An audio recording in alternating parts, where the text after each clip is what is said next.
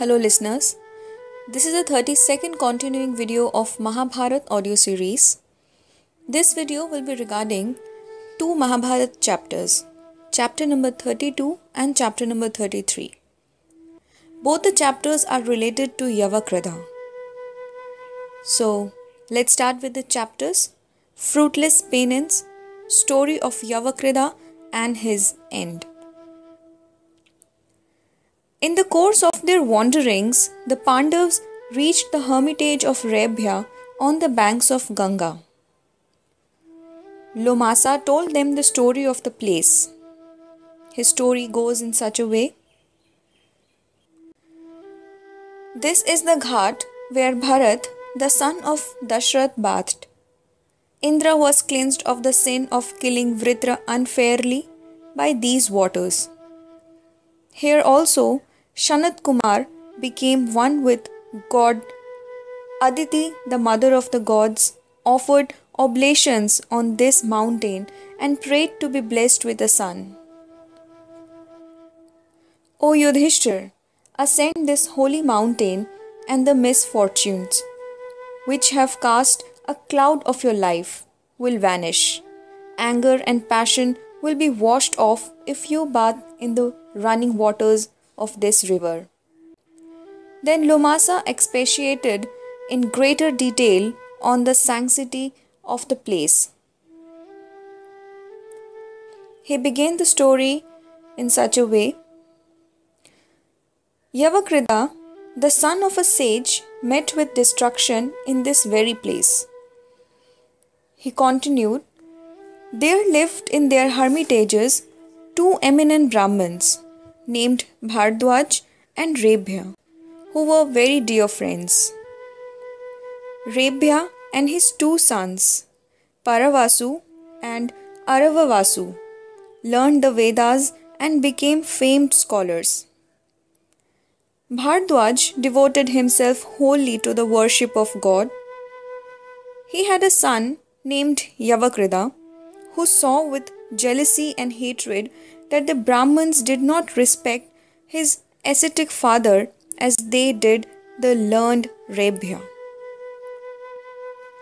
Yavakrida practiced hard penance to gain the grace of Indra. He tortured his body with austerities and thus awakened the compassion of Indra, who appeared and asked him why he so mortified his flesh. Yavakrida replied, I wish to be more learned in the Vedas than any has ever been before. I wish to be a great scholar. I am performing these austerities to realize that desire. It takes a long time and involves much hardship to learn the Vedas from a teacher.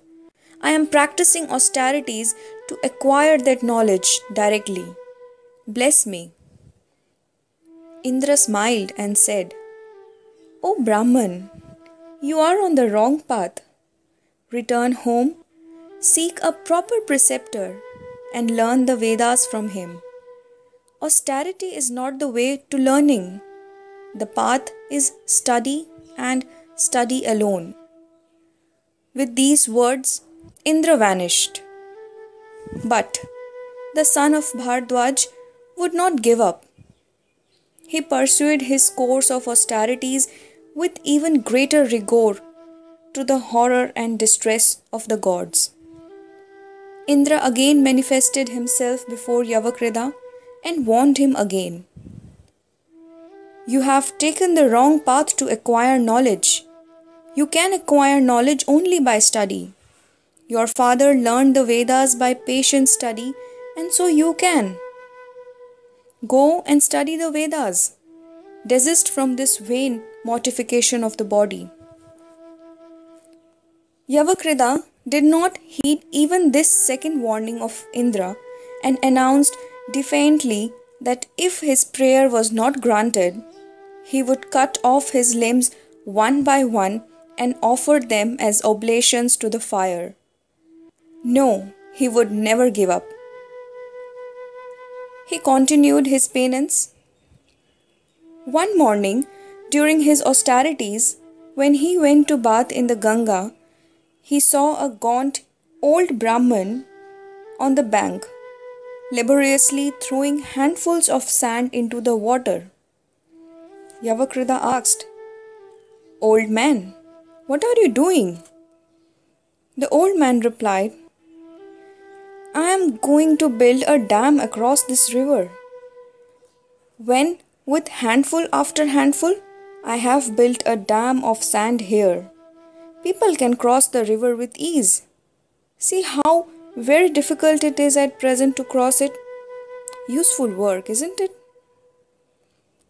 Yavakrida laughed and said, What a fool you must be to think you can build a dam across this mighty river with your silly handfuls of sand. Arise and take to some more useful work. The old man said, Is my project more foolish than yours of mastering the Vedas not by study but by austerities? Yavakrida now knew that the old man was Indra, more humble this time. Yavakrida earnestly begged Indra to grant him learning as a personal boon.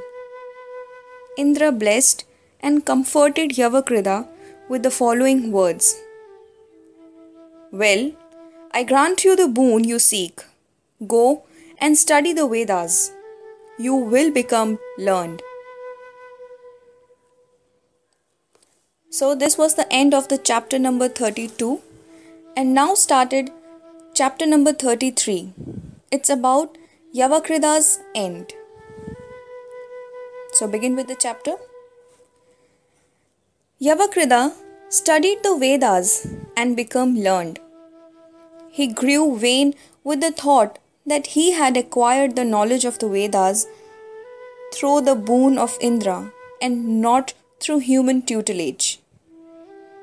Bhardwaj did not like this and feared that his son might ruin himself by slighting Rebhya. He thought it necessary to warn him.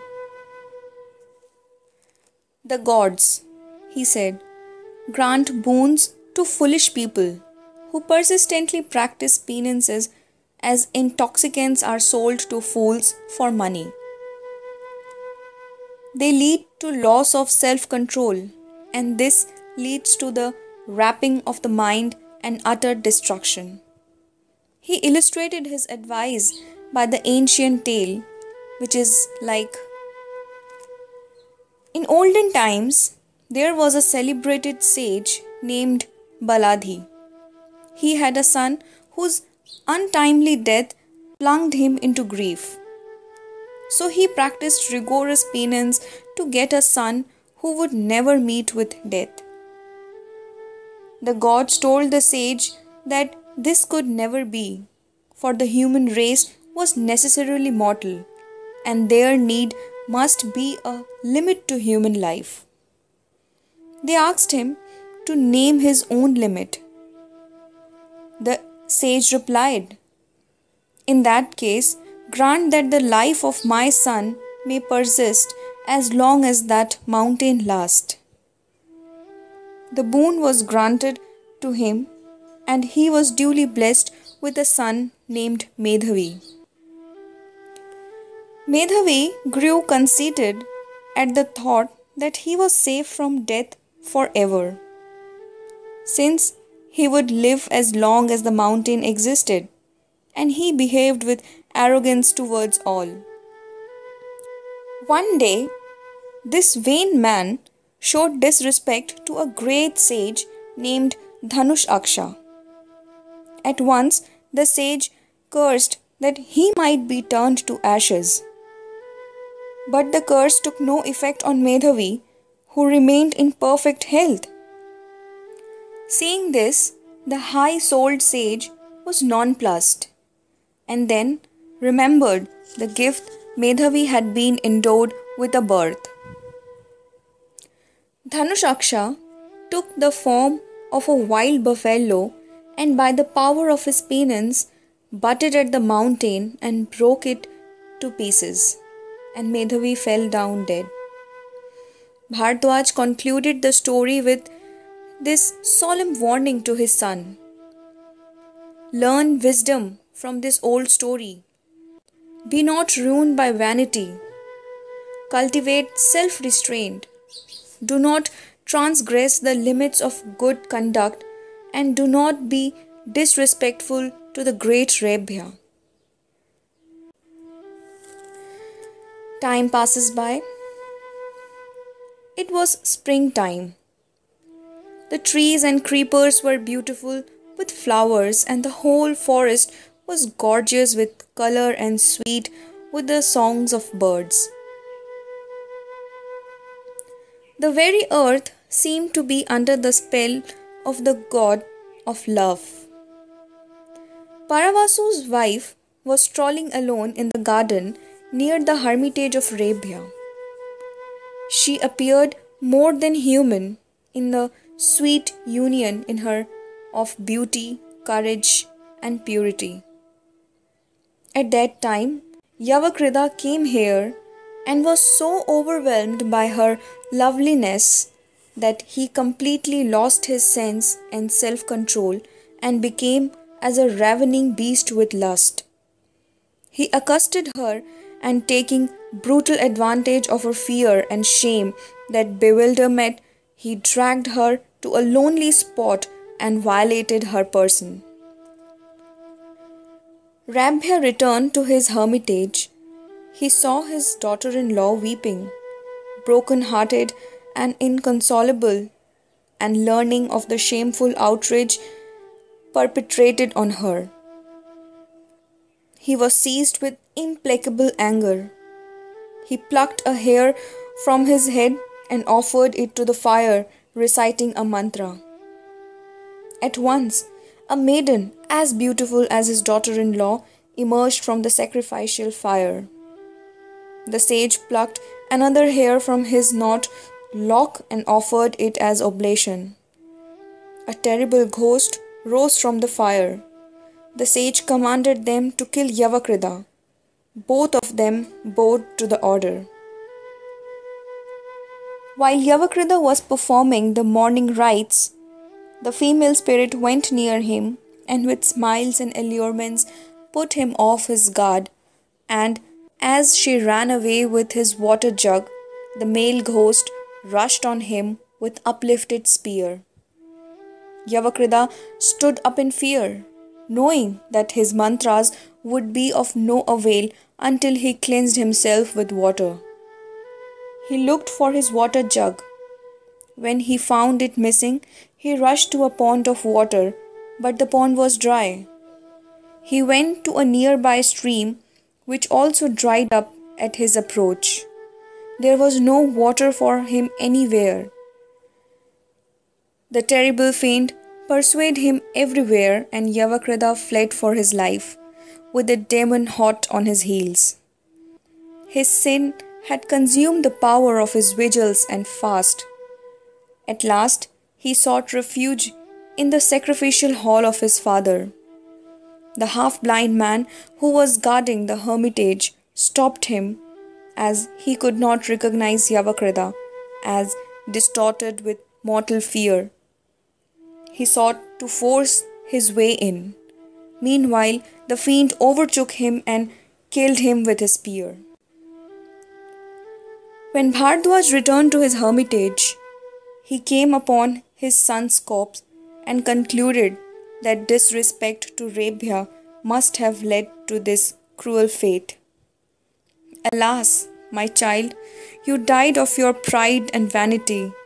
Was it not a great mistake that you tried to learn the Vedas in a way not resorted to by any Brahmin? Why did you behave so as to be cursed thus? May Rebhya, who caused the death of my only son, be himself killed by one of his sons. Thus, carried away by rage and grief, the sage cursed Rebhya. Regaining control soon, he exclaimed in anguish, Alas! They alone are blessed who have no sons. I have not only lost my only son, but in the madness of my grief, I have also cursed my friend and companion. What is the use of continuing my life? He cremated his son's body and died with throwing himself on the funeral pyre. Both the chapters related to Yavakrida finished here. Keep listening Mahabharat in the next video series.